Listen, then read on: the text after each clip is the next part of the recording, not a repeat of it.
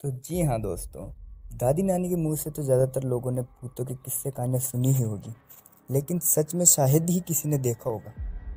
आज हम आपको एक ऐसी स्टोरी बताने जा रहे हैं जहाँ भूत होने के दावे किए जाते हैं। हालाँकि कभी साबित नहीं हो पाया है कि वहाँ भूत था या है। भूत होने की आशंका के चलते उस पब्लिक प्लेस को बयालीस साल तक बंद रखा गया। यह कहानी है एक रेलवे स्टेशन की। जो कि पश्चिम बंगाल के पुरुलिया ज़िले में स्थित है। इस स्टेशन का नाम बेगनुकोडोर रेलवे स्टेशन है। यह साल 1960 में खुला था। तो जी हाँ दोस्तों, वीडियो स्टार्ट करने से पहले हमारी वीडियो को लाइक और चैनल को सब्सक्राइब ज़रूर कर लें यह स्टेशन खुलने के बाद कुछ सालों तक तो ठीक ठाक चलता रहा, लेकिन सात साल बाद ही वहाँ कुछ अजीबोगरीब घटनाएँ घटने लगी। साल उन्नीस सौ सड़सठ में बेगनू कोडोर के एक रेलवे कर्मचारी ने स्टेशन पर एक महिला का भूत देखने का दावा किया।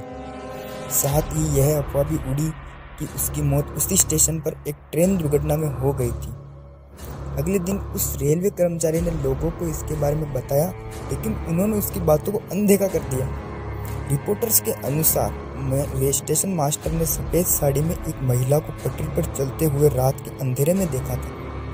उसके बाद स्टेशन मास्टर और उनका परिवार रेलवे क्वार्टर में मृत अवस्था में पाया गया।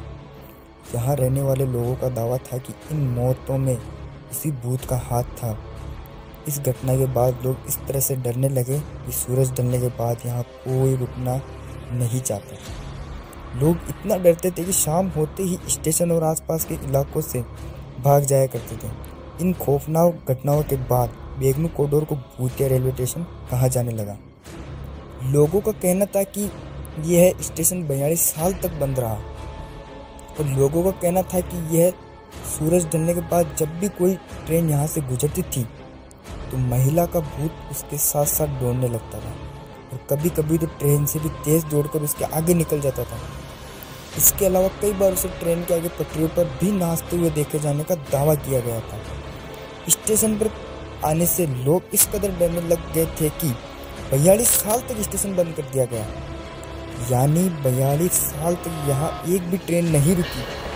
ट्रेन यहाँ से गुजरती, ज़रूर थी, मगर जैसे ही बेगनू कोडोर स्टेशन आता था, उसकी स्पीड बढ़ा दी जाती थी।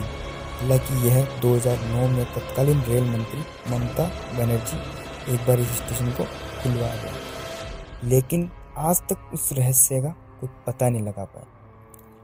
तो ये थी हमारी आज की वीडियो पूतिया रेलवे स्टेशन की।